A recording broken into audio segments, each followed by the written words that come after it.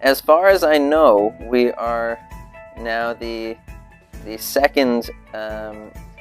the second kosher English Megillah, or we we now have the second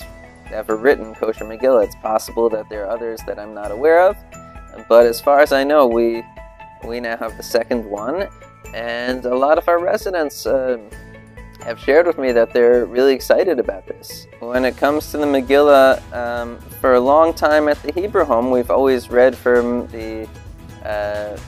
the same Megillah, we, and uh, and it's traditionally uh, and originally the Megillah was written in Hebrew, and traditionally that's how it's often uh, it's generally been read. I think we're really uh, uh, setting a, an example that other people uh, want to follow for their communities, recognizing that this is a way to make the uh, to make the holiday and to make the mitzvah of, uh, of reading Megillah uh, more accessible, more engaging, more inclusive for, for many in our community.